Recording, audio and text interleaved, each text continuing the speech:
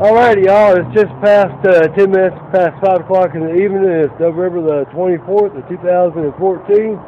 And I think I'm south of the Natural Bridge, Virginia here. Uh, man, it's been a long, exhausting walk. Uh,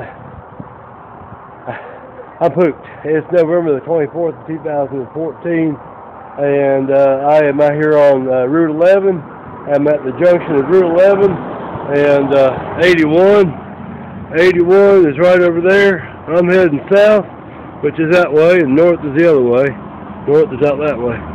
So, anyway, I made it up here to the Exxon gas station. I think I've walked about five miles today. Um, man, I tell you, I got a load. Down here in a couple days, I'm going to be happy to have this load. Uh, it's supposed to get down to freezing. Uh, come around Wednesday, supposed to have snow and ice and sleet and all that mess, and I'm praying God I'm to be somewhere safe and uh, warm and out of the out of the elements, out of the mixture. So, man, I want y'all to look at this uh, beautiful mountain line out here. Ain't that gorgeous? So, I'm here at the Exxon gas station. Oh, uh, Exxon Tiger says hi.